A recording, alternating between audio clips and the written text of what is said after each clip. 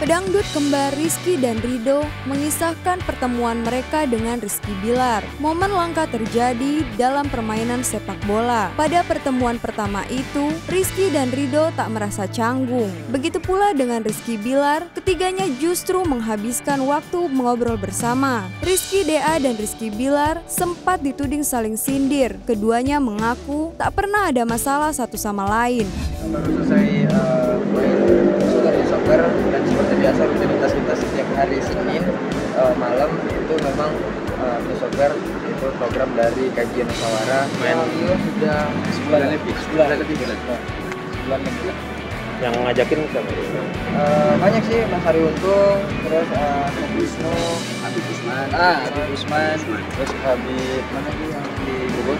Iya Habib Kaf Habib Ali Alka Alhamdulillah perasaannya biasa aja ya karena memang kan kita di sini siapa aja boleh main kan? Ya, kan.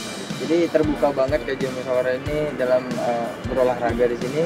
Habib Habib juga banyak main jadi ya Alhamdulillah senang bisa bersilaturahmi lagi dengan siapa pun. Yang tadinya berjarak sekarang merapat Alhamdulillah.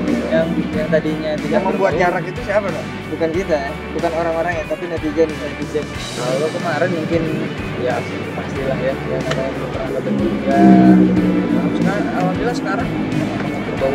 Udah tau lah feelingnya gitu.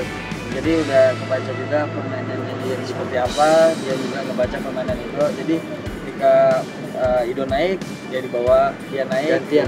ya itu sih feeling tadi udah udah satu kalau untuk sebelumnya nggak pernah ketemu dan alhamdulillah ini adalah minggu kedua udah ketemu ya ini mungkin alhamdulillah insya Allah kalau memang ya ada waktu sama-sama kita nggak bisa main di luar sih ya, ya. Iya. bukan hanya di sini aja Untuk mendapatkan berita terupdate, tekan tombol subscribe, like, komen, dan nyalakan tombol loncengnya.